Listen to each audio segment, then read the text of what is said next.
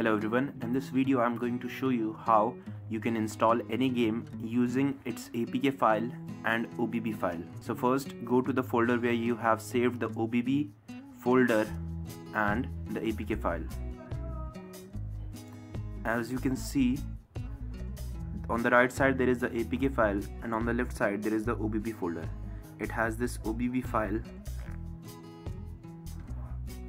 as you can see it is an .obb file. Now copy this whole folder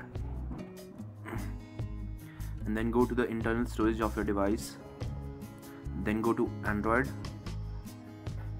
then go to OBB if this folder OBB is not here inside Android in your internal storage then just create a new folder named OBB then open this folder and paste it here Now go back and install the APK file. Now open this game. So as you can see the game is working now.